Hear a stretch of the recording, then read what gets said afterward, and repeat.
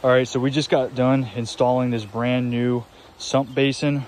We changed it out with the old one, and we also put a new Zoeller pump in this basin. We put our check valve down in the basin, that way the check valve is serviceable. But come to find out, they put a check valve on its side right here. Now this is a spring loaded check valve, so you can put these spring loaded check valves on their side and they will still work, but you should not bury them because if you bury your check valve, how are you going to service it? How are you going to maintenance it? Unless you call the guys back that installed it because they know exactly where it was buried. We got lucky to find this check valve because if you can hear it, I don't know if you can hear that with all the pool pump and the rest of the noise going on around here.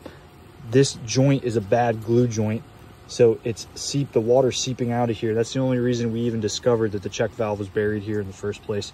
So guys, never bury your check valves. Always put them in the base